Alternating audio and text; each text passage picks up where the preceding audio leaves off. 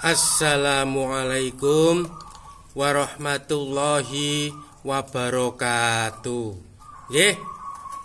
Buat semua poro dulur-dulur saya lan poro sahabat-sahabat saya khususnya pecinta anggungan perkutut lokal. Nggih, dulur. Monggo hari ini bersama-sama dulur kita belajar membahas bab apa itu? Tentang apa itu dulur? Mohon dicatat.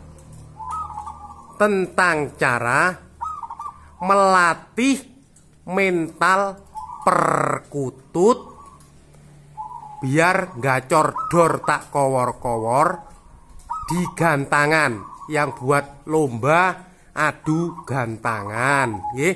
Dan buat di terasan. Biar mau manggung gacor dor tak kowor-kowor. Gimana sih caranya? Lah monggo kita saksikan bersama-sama cara melatihnya nggih.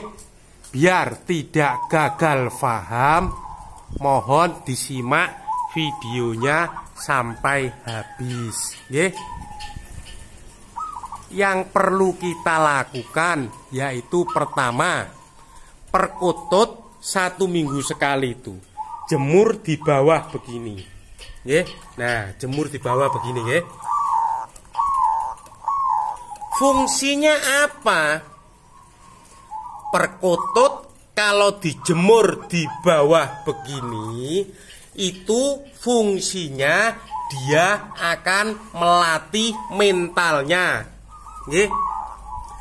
Dari satu dari manusia. Dia kalau sudah terbiasa di bawah, maka dia lomba atau di mana aja itu tetap gacor karena sudah dilatih di bawah begini. Kedua, penjemuran usahakan ditempel begini. Ini juga lakukan satu minggu sekali boleh. Nah, itu kan perkutut mental sama mental tak tempel. Jaraknya nggak nyampe satu satu meter dulur. Tapi dia tetap bunyi itu yang sangkar putih. Bunyi toh? Lah sama sebelahnya. Bunyi. Karena sudah sering latihan nggih Nah, bunyi toh ini bukti nyata tidak ada hoak-hoakan dan langsung terjun dunia nyata Ketiga, tempat tanggung semacam begini. Nah, ini ditempel aja. Tadi kan tempat agak atas, sekarang tanggung begini ditempel. Ya. Fungsinya apa? Perkutut ini loh, ini kan bunyi toh. Nah, sama sebelahnya ini. Sebelahnya ini nanti yang belum terbiasa bunyi, maka dia akan disedot, ditarik sama yang ini. Nah, ini disedot. Oke. Kalau penjemuran tanggung begini boleh satu minggu tiga kali naruhnya begini. Ya maksudnya yang tingginya tanggung. Itu boleh satu minggu tiga kali. Dua tiga jam cukup penjemurannya. Oke. Nah, kayak ini. Ini ketarik dari yang ini. Ger. Oh. Manggung toh?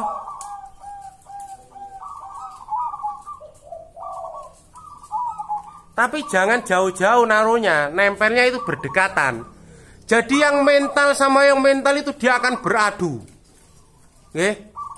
Nah, setelah dia beradu, kalau dia kita bawa ke gantangan mana-mana lomba gacor, ya dia sudah terbiasa. Oke?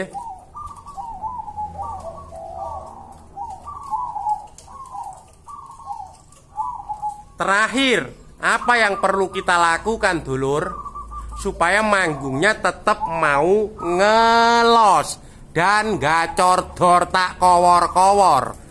Lakukan digantang begitu. Nah, di atas no. Fungsinya apa digantang tinggi begitu? Fungsinya biar dia suaranya yang tadinya macet apa itu? Biar mau mengeluarkan suara ngelos alias suaranya itu dikeluarkan semua yang digantangan tinggi ya tingginya 8 meter Nggih 8 meter lakukan satu minggu sekali Nggih Pokok pertama tadi perlu diingat penjemuran di bawah begini, Ger. Oh, sudah terbiasa toh? Tuh, terbiasa dia nembang aja. Perkutut itu, nggih. Tuh, nembang. Tuh, nembang toh. Ya, ini yang tiga ini masih bahan-bahan. Ini dilatih sama ini, dodongkotnya ini. Ini ditarik sama yang ono. No.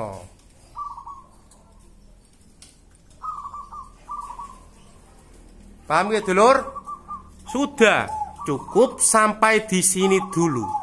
Semoga ilmu atau tip ini bisa bermanfaat buat kita semua, terutama buat poro pemula. Salam santun ugi salam rahayu. Assalamualaikum warahmatullahi wabarakatuh.